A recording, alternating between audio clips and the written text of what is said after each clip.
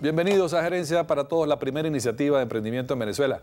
Muchísimas gracias por seguirnos a través de arroba gerencia todos y visitar nuestra página web gerenciaparatodos.com, donde pueden bajar nuestra publicación periódica que también circula en las principales salas de espera de todo el país.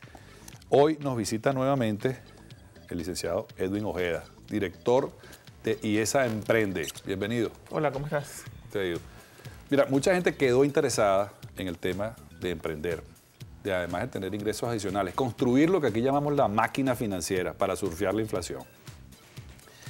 ¿Cuáles son los pasos que debe seguir un emprendedor que quiera construir su emprendimiento sólido? Yo me imagino que tú en tu iniciativa desarrollaste un plan de negocios. Sí, efectivamente. Efectivamente, bueno. Lo, que nosotros prometemos en Emprende es que la persona haga su plan de negocio en solo ocho semanas. Estas ocho semanas es 100% online. Y materias, ¿qué materias ve? Bueno, planificación financiera, mercadeo, estudia el mercado, analiza sus fortalezas, su visión, su misión. Esa, digamos, una pequeña cápsula de gerencia en ocho semanas. La recomendación es que cada persona le dedique por lo menos una hora al día y si bien es cierto, Emprende es 100%, 100 online, tiene el apoyo, tiene el acompañamiento de un mentor certificado durante ocho semanas. Fíjate, una persona que de repente ya tiene su emprendimiento, lo está comenzando, es interesante que vaya y ese emprende para que lo construya con un criterio profesional, porque también hay muchos emprendedores que comienzan y la tasa de emprendimiento puede ser muy alta, pero el tema es los que declinan.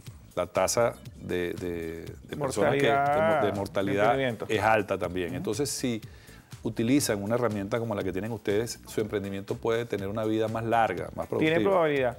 Efectivamente, en Venezuela tenemos muchos emprendimientos, muchas personas que dicen ser emprendedoras, pero también tenemos mucha, eh, una tasa de mortalidad de emprendimientos muy alta. Si bien es cierto, y no vamos a negar que las condiciones económicas, sociales, políticas de Venezuela son bien particulares, también es cierto de que si el, emprendedor se fortalece en la parte técnica, pero también en la parte gerencial, las probabilidades de su emprendimiento son mucho mayores. ¿Qué tipo de emprendedores han, acudido a ustedes? De todo. Mira, nosotros desarrollamos un programa con la Unión Europea, fuimos a Virongo, fuimos a Higuerote, tenemos emprendedores sociales de esa zona, tenemos emprendedores desde la Florida que han hecho Emprende, en Brasil hay gente que ha hecho Emprende, en Perú. Tenemos emprendedores en prácticamente todas las ciudades, desde las típicas personas, o, lo más común aquí en Venezuela, de que hacemos cupcake, hasta personas que han hecho emprendimientos de videojuegos para que los médicos practiquen sus operaciones. O sea, el, la, gama, es muy alta. La gama es muy alta, muy alta, amplia. Mira, ¿y cuáles consideras tú que son las cualidades que tenemos en Venezuela para emprender? Es decir, las personas que están en la calle, están emprendiendo, muchas personas tienen empresas familiares. ¿Qué crees tú que hace falta para que esas empresas tengan mayor éxito, crezcan e inclusive un emprendimiento hace que haya más empleo a, a la vez, ¿no? Si el reto es convertir esos emprendimientos de subsistencia en lo que se llama emprendimientos dinámicos, es decir, emprendimientos que generen empleo, emprendimientos que, que aporten importantemente al PIB y, ¿por qué no?, emprendimientos que exporten, sería lo ideal. Eso es lo que se llama emprendimientos dinámicos, emprendimientos gacela, que lo que queremos es fortalecer ese tipo de emprendimientos aquí en Venezuela. Bueno, muchísimas gracias, licenciado Edwin Ojeda, por acompañarnos aquí en Gerencia para Todos.